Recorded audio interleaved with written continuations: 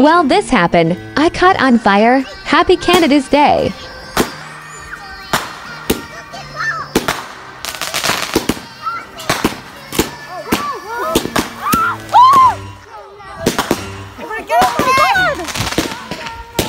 popped right out. It popped right out. It landed right on me.